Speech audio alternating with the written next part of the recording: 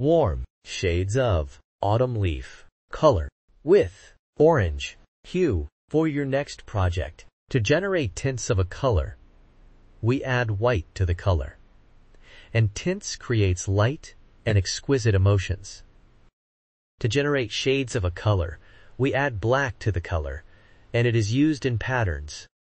3D effects, layers and shades create depth and drama.